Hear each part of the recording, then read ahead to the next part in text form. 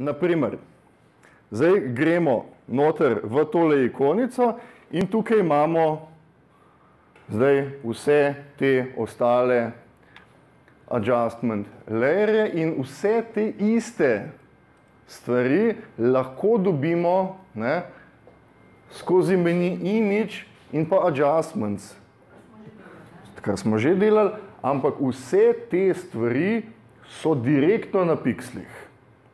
Torej, če bi zdaj recimo želel svetliti ali temniti sliko, jo spreminja. Ne? Da bi prišli do adjustment layerjev, lahko tudi tukaj v meniju layer izberemo new adjustment layer in pa potem imamo tukaj ponovno ta isti spisek, kot smo ga imeli tukaj, minus ta prvi trije. Ne? Minus ta prvi trije, ker ta prvi trije se tukaj v new fill layer nahajajo ena stopnja više. In zdaj lahko izberem, ne? lahko grem naprimer noter v brightness contrast, potegnem kontrast pa brightness čisto do konca, da pač zdaj vidimo to spremembo. Ne? In dokler imam ta adjustment layer nad ostalimi plastmi, bo vse te plasti on spreminjal. To je ta pomembna sprememba. Torej, kjerkoli se nahaja glede na plasti ta adjustment layer, spreminjal bo vse, kar je pod njim in nič, kar je nad njim. To je to. Ne? V tem primeru je zdaj brightness contrast najvišje in spreminja vse ostalo. Medtem ko, naprimer, lahko bi vzel jaz tale brightness contrast, ga pomaknil pod piščanca, vklopil piščanca in lahko vidimo, da se na piščancu ne zgodi ničesar. Ne? Če pa ga pomaknem nad piščanca, pa imamo naenkrat tudi piščanca presvetljenega. Torej vse, kar je pod tem adjustment layerjem, bo spremenjeno. Vse, kar je nad, nema, ne? In kadarkoli se zdaj jaz lahko vrnem v tole ikono, dvakrat kliknem na njo, ne? Zdaj, jaz imam že odprto tale panel properties in kadarkoli lahko to spremenim. Ne? In ta efekt je dinamičen. Torej, jaz lahko zdaj, enako kot bi izklopil vidljivost ene plasti, lahko vklopim ali izklopim vidljivost tega adjustment layerja ne? in ga s tem deaktiviram.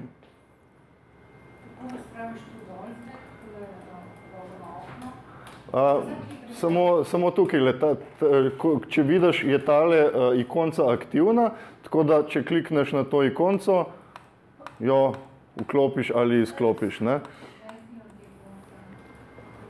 Potem pa klikneš na X, če želiš. Ja, takole, tukaj. Uh -huh. Aha, ok. Ja? Ja?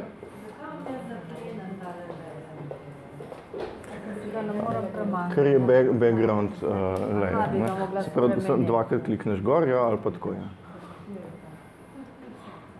Še, še vedno nisi, ne? Ti, ti pač dvakrat, Ja, pa sam dvakrat klikneš, ne, možeš ga zbrisati. Dvakrat klikneš. Ja, pa da je ok.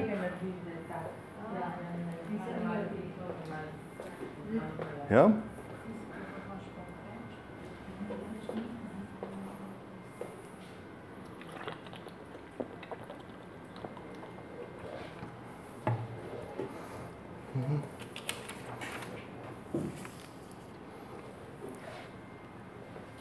Torej, pomembno tukaj je, oziroma zanimivo, je to, da vsi adjustment layeri in vsi fill layeri zdaj naenkrat pridejo skupaj z masko.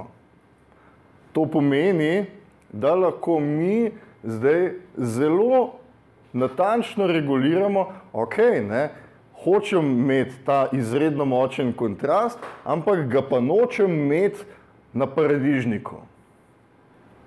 Kako pa zdaj to narediti? Enostavno, ne? Jaz izberem masko, izberem naprimer tukaj čopič in začnem risati z malenkost večjim čopičem, da bo stvar uporabna. Začnem risati po maski z črno barvo. Ne? Zdaj, na, moja natančnost, zaradi tega, ker rišem po tem le platnu, je izjemna, ampak lahko naprimer vidimo, da sem zdaj narisal tukaj le na maski. Če kliknem zdaj na tole masko z altom, to da vidimo, ne, sem narisal tukaj le dvakrat črno in zato ta adjustment layer zdaj na tem delu ni aktiven. Enako bi bilo, naprimer, če bi želel tale fil, ne, če se zdaj vrnem na nazaj in pa na 100%, ne, ta barva bi lahko bila karkoli. Ne. Se pravi, jaz bi lahko naprimer zdaj rekel, ok, uh, dajmo tlele en kvadrat narediti, ne, In zdaj želim, da je tale barva samo v tem kvadratu. Ne? Naprimer, torej bi šel v Select Inverse in pa potem pobarval v tej maski z črno. Ne? Torej imam zdaj masko, ki je okoli tega kvadrata, ki sem ga naredil, to je črno in to je belo. In še vedno imam dinamiko, ne? še vedno lahko jaz zdaj kliknem dvakrat in izberem eno drugo barvo. Ne? Ampak del je skrit, ne? zaradi maske. Torej, katerikoli fill layer, katerikoli adjustment layer lahko mi z masko prilagodimo ne? ali lahko prilagodimo uh, opacity in pa blend mode, da spremenimo, kako se ta barva obnaša na piksle, ki so pod njo. Ja? Kakšna je zdaj dejanska razlika med masko in tem filom in patterns oziroma uh, te adjustment layer? To je maska. Lej, lej, ti, ti glej tele kvadratke tukaj desno, ne? To so maske. Aha. Iste maske, ne? Uh, samo... Samo da je, ne, ne, ne, ti imaš, najprej imaš adjustment layer in na njem je maska. Na levi strani, poglej, na levi strani imaš recimo fill layer z, ora, z um, vijolično barvo in na desni strani od njega je maska, ki skriva ta del. Ne? Medtem, ko smo mi recimo prej imeli fotografijo, ne, na isti lokaciji, kjer je zdaj tale fill layer in na desni strani je bila maska. To pomeni, maska je tisti del, ki skrije ali pokaže. Karkoli, ne? v tem primeru je lahko tekst, lahko je fotografija, lahko je adjustment layer, lahko je fill layer, lahko je nekaj četrtega. Ne? Lahko je cela skupina plasti. Ne? Torej, maska je tisto, kar skrije ali pokaže. Ne? In ti lahko, naprimer, bi zdaj označila, mm, če bi želela, naprimer za hec, ne, bi lahko dala neko besedilo, ne, pa bi rekla, ok, ne, ABC, besedilo imam. Pa ga dajmo povečati, to, da bo stvar vidna. Ne. Ampak to je zdaj ne, besedilo. Zdaj pa jaz želim recimo kombinirati in tole in besedilo in ustvariti en nov objekt. Kako pa to narediti? Uh, najprej bom zdaj za kontrolom kliknil na tale T, to, da sem dobil ne, označeno vse, kar imam tole besedilo. Se pravi, celo besedilo imam označeno. Ja? In zdaj bom kombiniral z temle, za tole masko, ki nam kaže tole vidljivost. Torej bom s kontrol kliknil še na to, ampak bom dal zraven še shift, ne, da bom prištel še to masko. Se pravi, imam eno, pa imam drugo in bom zdaj prištel oboje skupaj. Se pravi, bo rezultat tale kvadratek, iz katerega bo gledal tale izrastek, tale izrastek, pa tale izrastek. Ne? Torej, Ctrl, Shift in pa kliknem in tako kot sem rekel, ne, kvadratek, tukaj ven, tukaj ven in tukaj ven. In zdaj pa lahko jaz rečem, ok, ne, naredi nov fill layer neke barve. Ne? In imam to dinamiko. To je zdaj postala maska in to je postala dinamična barva. In zdaj lahko jaz to kadarkoli premaknem ne? in kadarkoli lahko to spremenim, ker to je živa barva in to je njena maska.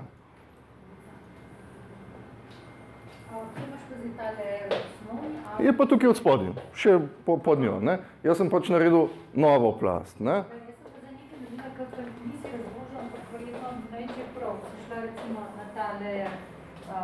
kjer je barva, sem šla na masko, uh -huh. sem naredila kvadrat, uh -huh. sem ga diletirala uh -huh. in sem dobila to. Ja, odvisno, kaj, kakšno barvo imaš. No. Ne? Uh, deluje ali pa ne deluje, odvisno od barve. Ampak dobiš pa ta efekt, kar je pa tudi zanimivo. Ja, glih obratno. Ne? Glih obratno, ja. ja. A, mislim, ti pač lahko, če, če ti deletiraš v maski, dobiš potem tukaj črno, enako kot če bi ti fil s črno oziroma če bi ti pobarvala s črno. Ampak je to glede na to, kaj imaš tle, ne? Glede na uh, sekundarno barvo. Če imaš ti sekundarno barvo belo, bo to obratno. Bo potem bi se ne, zgodilo nič. Ne? Zato je mogoče lažje, mislim, da, da potem skozi gledaš, katero barvo imaš izbrano, da preprosto barvaš za črno. Ne? zato, da potem ve, veš, kaj se zgodi. Ne? Ker vedno, če nimaš nobene selekcije izbrane, ne, bo on šel, bo naredil novo masko zraven in bo dal reveal all. Torej, vidno je vse, cela maska je bela. Ne? In ti lahko zdaj potem na tej maski karkoli spremeniš. Ne? Skriješ. Ne? Nič ne odstraniš, ampak samo skriješ. Kadarkoli lahko dobiš ta podatek nazaj. Ne? In zdaj, ne? jaz nimam nobene te plasti več aktivne in lahko dodam nov adjustment layer. Ne? Imeli smo brightness contrast, imamo levels. Ne? Enako kot smo imeli v tistem dialogu, imamo tukaj histogram, ki nam kaže, kakšna je razporeditev svetlih in temnih delov slike. Ne. Torej, na levi strani imamo najtemnejše in na levi strani imamo najsvetlejše in tukaj bi želeli lahko bi potegnili maksimalno črno, ne, za temi tremi kvadratki, ki so tukaj, potegnem maksimalno črno noter ne, in s tem potemnim sliko, ne, ker sem potegnil maksimalno črno na, na čisto drugo točko. Ne? Če recimo pokažem, vse to je zdaj črno. Ne? In lahko bi maksimalno belo potegnil noter, ampak nobena ta transformacija ni aplicirana gor. Ne? To je pač ta um, naj, najbolj pomemben. Če bi recimo šli mi zdaj noter v hue and saturation, ta vam zna biti najbolj um, nekako logična. Ne? Pa potegnem saturation na ničlo. Je torej ta adjustment layer, vse, kar je pod njim, potegnil ven nasičenost barve. Ne? Spremenil jo je v črno-belo, ampak v resnici ne, je potegnil nasičenost barve ven. In zdaj ne, imamo mi tukaj zraven masko. In mi lahko zdaj rečemo, da ja, ok, ne, to sicer je v redu, ampak jaz bi pa si želel, da je tale pomaranča pa barvasta. Ne. To pomeni, da zdaj na tej maski na tem adjustment layerju preprosto začnem barvati s črno. In zato, ker imam izbrano zdaj primarno barvo belo, moram najprej zamenjati in grem in začnem barvati. Ne? In ker barvam s črno, je on avtomatsko ne, na tem delu fotografije začel skrit. Ne? In ker nič od tega, ne, um, zdaj nisem nič zbrisal, ne, torej, če bi želel zdaj izboljšati tole masko, bi lahko recimo šel v Marki Tool pa označil, ne, lahko pa bi spet zamenjal barve, ne, to, da imam zdaj belo in grem pa zdaj risati tukaj od spodaj, ne, pa grem recimo jim mal odozemati. Ne. To pomeni, ne, da če zdaj pogledamo masko, ki je na tem adjustment layerju, ki je posivil sliko, ne, bomo videli, da je vse razen tistega prostorčka, ki je pri pomaranči, belo. In to je črno. To pomeni, da se na tej lokaciji ne zgodi nič, medtem ko tukaj se zgodi vse. Ne. In zdaj, zato ker imamo, zato ker imamo to kot dinamičen adjustment layer, lahko zdaj mi pomanjšamo možnost, uh, moč efekta. Ne?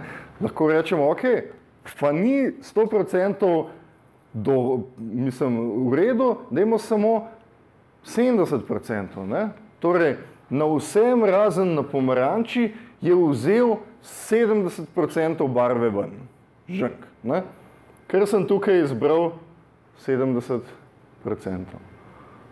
Torej imamo ne, to dinamiko, da lahko kadarkoli jaz zdaj pridem noter v tale hue and saturation in ga kadarkoli lahko spremenim.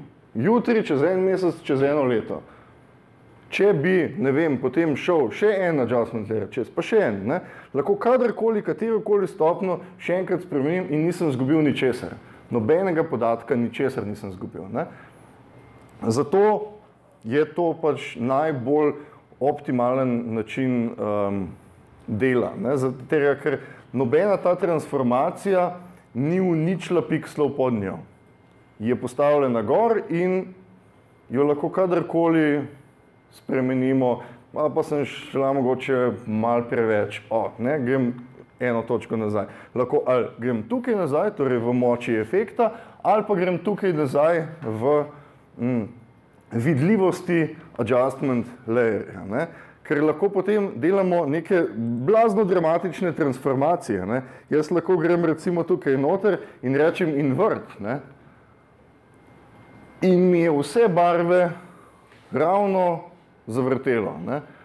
Torej vse, kar je bilo prej belo, je zdaj črno, vse, kar je črno, je zdaj belo, vse, kar je bilo oranžno, je zdaj modro in vse, kar je zdaj modro, je zdaj oranžno. Ne? Torej zamenjal je in um, svetlost in pa uh, barvno um, kolo je prezrcalo. Ne? Jaz. Zakaj recimo meni tle naredi kola?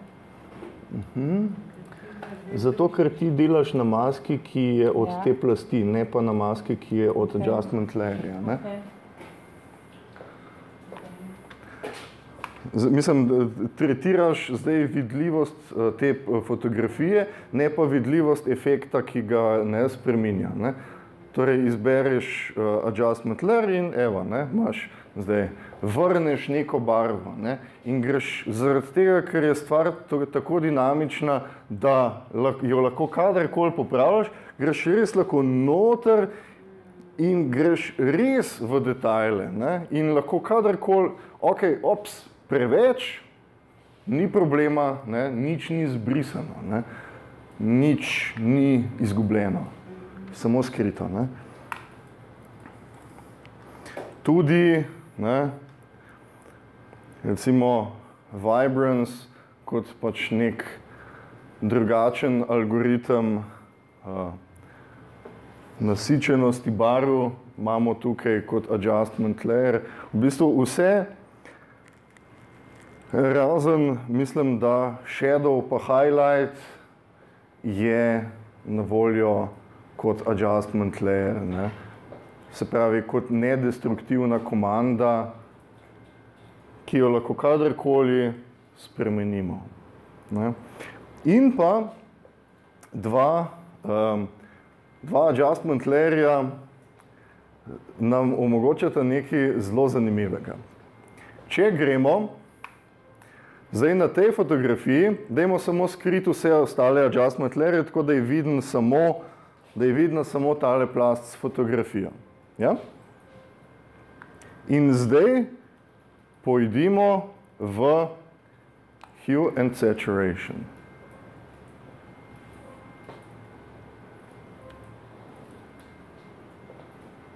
Ja.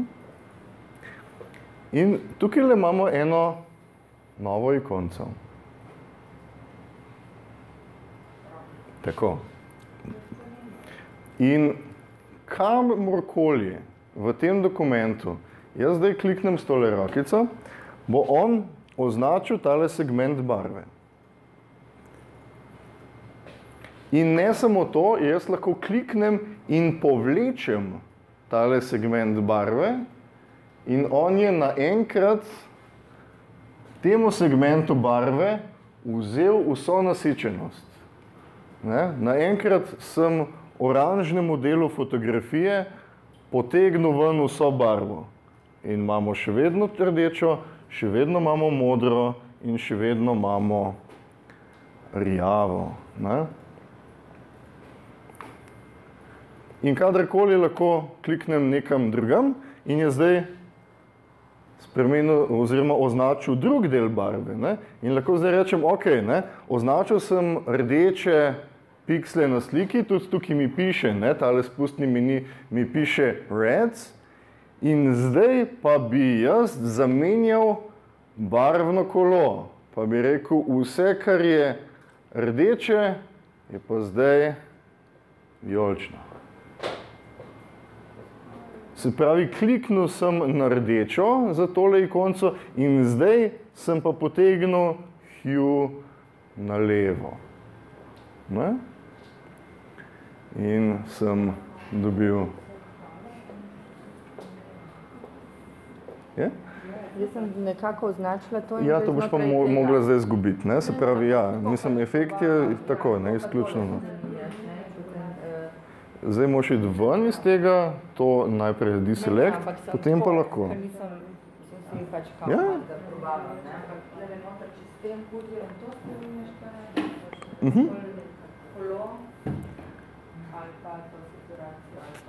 Ta ista ikonca se še bolj uporabno nahaja v adjustmentu black and white. Torej, kliknem na tole ikonco in izberem black, white. Zdaj pa, če izberem tole ikonco, ker je ta fotografija zelo raz, različnih barv. Ne? Imamo in zelene, in rdeče, in modre, in, ne? in zdaj kamorkoli na tem dokumentu z uporabo te ikonce kliknem in povlečem, ne? bom temnil in svetlil samo tisti del barv. Naprimer, če bi želel potemniti samo nebo, ne? če bi želel posvetliti konje in pa paradižnik. Ne? Torej imamo popolno kontrolo nad tem, kaj je v črno-beli fotografiji svetlo in kaj je v črno-beli fotografiji temno, tega, ker imamo delo z tremi kanali barv in imamo te informacije. Medtem ko, če bi fotografirali direktno v sivinah, teh, te izjemne kontrole ne bi imeli. Ne? Tako da je pač absolutno to, mislim, kilometre bolj um, dinamično. Ne? Uh -huh, ja, samo klikni in povleči. Ja, ja, ja. Klikneš in povlečeš na levo ali na desno. Ne? In dobiš eno ali drugo, en ali drugi efekt. Ne? Seveda lahko pač tudi z temi drsniki to isto delamo. Ne? Uh, in pač dobimo neke um, različne, ampak pač lahko delamo direktno na fotografiji, kar je pač vedno um, nek interface improvement. Ne. Ja. Ja. In ali to zdaj, ne glede na to, da se pa odločiš, da jih ne boš uporabljal uh, v smislu printanja, Uh -huh. uh, je smiselno, da jih samo ugasneš oziroma da jih so nevidni ali da jih delitiraš? Odvisno, kaj želiš, če želiš še kdaj z njimi početi kaj ali ne. ne. Če ne želiš z njimi početi, jih pač seveda zbrišeš, ampak ko ti shraniš to kot nek uh, TIFF ali pa JPEG ali pa karkoli, tega ni. No, noben, mislim, z, ok, TIFF je pač malo specifičen, ker plasti so, lahko, ampak JPEG recimo ali pa PNG nima plasti. To pomeni, da bo on stisnil sliko in jo shranil. Ne? Nobene te dinamike ne bo. Ne adjustment layerjev, ne mask, ne, ne vem, eh, editabilnih uh, teksta, ničesar. Ne? To je samo v Photoshopovem fajlu, je to noter, medtem ko ničesar druge ni. Ne? To razumem, ampak ali to recimo kljub vsemu bremeni velikost fajla? Absolutno, ne, ne seveda, ne, pač i poveča. Vključiš ti to, ker ga- A ja, ne, ne, ne, eh, torej, eh, ne, to narobe so se razumela, ne. Um, Photoshopov dokument poveča, ne, ne pa JPEG-a. JPEG je pa, mislim, J- JPEG je tehnično vse, ne, če bi ti zdaj to destruktivno naredila ali pa ne.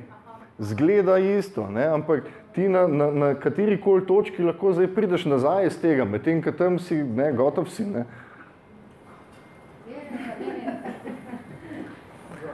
Uh, torej, brightness and contrast, levels, curves bomo preskočili, ker je malenkost um, ga pre, pretežko, zelo enostavno za, zakapirati. Exposure kot pač um, ne, neka, nek način posvetlitve ali potemnitve dokumenta.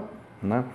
Um, Potem imamo vibrance in pa saturation, sta si zelo podobna um, algoritma, s tem, da je vibrance malenkost bolj zakompliciran, ker bo vzel več detajlov iz nekih delov, ki niso um, nasičeni, medtem ko saturation bo pač nabal nasičenost v vse. Ne. Um, je mal bolj, mal bolj subtilen um, način. Potem imamo color balance, možnost, da katero koli barvo spremenimo in imamo možnost um, spreminjati in srednje tone in tem, eh, temne tone in svetle tone ločeno. Ne? Če bi naprimer želeli se igrati z tem, kako neka fotografija izgleda, da jo potegne malo bolj ne, temne dele, malo bolj v zeleno, svetle dele, malo bolj v neko drugo barvo. Ne. Imamo to možnost tukaj, vse te stvari so nedestruktivne. Ne. Torej, kadarkoli, kadarkoli lahko pridemo noter in spet spremenjamo. Ne. Oziroma, kadarkoli lahko mi vzamemo ta, tole plast, ne, če imamo recimo dva dokumenta odprta, Vzamemo to plast in jo preprosto pomaknemo v drugo, drug dokument. Ne. To pomeni, da lahko isti adjustment layer pač preprosto potegnem na drug dokument in ga imam že takoj tam. Ne. Kar potegnem, mislim, če bi šla zdaj recimo v window pa arrange, to, da imaš dva dokumenta odprta, ti preprosto primeš tole ikonco, potegneš in jo spustiš. Ne, skopirajo, tako. Ne. Če bi šel recimo zdaj ne, v window in pa arrange, pa grem recimo two up vertical, to, da dobim dve, ne, lahko zdaj katero koli, mislim tehnično katero koli plast, ne zdaj samo adjustment layer, lahko tudi ta text layer ali pa tole ali pa šance. Primem in jo preprosto potegnem. Ne. Celo še lažje je, no, to si že tudi mene naučil, da primaš, ne, Ja. greš kar direktno v ta zgornjo, ni tega nič arrange pa to. Aha. E, to sem pa pozabil, hvala. Ja. Se pravi, direktno lahko jo spustiš tlele. Ne? Ja. Ampak ne, zdaj, ko imam dva odprta, ne, lahko jaz zdaj sem prijel in jo potegnem in tukaj lahko že takoj vidimo, da se okoli naredi tale črtica, to pomeni, da mi pove, da zdaj, ko jo bom spustil sem, ne, je tale adjustment layer zdaj v novem dokumentu skopiran ne, in tukaj zdaj ni ničesar zgubljenega. Ne. Um, fotofilter še mogoče kot pač čist um, simulacija tistih uh, barvnih filtrov, ki se jih da pred objektiv, takrat, ko se fotografira. Um, Photoshop res omogoča tisoče boljših uh, verzij te iste stvari, no? ampak tukaj imate recimo ne, warming filter in tukaj recimo 25% um, density gostote. To pomeni, da bom malo pobarvala tole sliko. Ne? To isto bi tehnično lahko naredili z filerjem za tole barvo. Ne? Tako da bi spremenili tukaj opacity in pa spremenili bi um, kako, kako se, kako, kakšen blend mode ima na spodnjo um, plast. Ne? In pa črno-belo smo šli in vrt smo šli, torej da jo absolutno zamenja. Ne? In pa mogoče še gradient map smo tudi šli čisto na koncu um, prejšnje vaje, vaje 15, um, ko je kužek gledal v širni svet. Um, gradient map je en način, da on um, to izbrano, um, ta izbrani, izbrani gradient um, aplicira glede na to, kaj je od najtemnejše do najsvetlejšega dela. Ne. Zdaj, zato, ker imamo glik obratno, ne, ker imamo belo proti črni, je v trenutku, ko dam tukaj na reverse, um, jih bo zamenjal in bo recimo ne, naredil zelo korektno, včasih je hecno, ko, ko gledate čr, kakšno črno-belo fotko, pa date potem um, gradient map čez, zaradi tega, ker bo on um, absolutno razporedil od črne do bele ne, in bo na tisti točki potem, um, na tisti točki potem mogoče izboljšal neke kontraste, ki jih prej ni bilo. Ne. Kar je potem, uh, kar je hecno, ne, uh, projektor ni crkno, verjetno je moja povezava v računalnik preko neta crkvena, zato ker stvar je še vedno tukaj. A? Evo ga, upravitelj upravil, evo ga. Minutko še malce. Ja. Vse itak moraš iti čez minutko. Ne?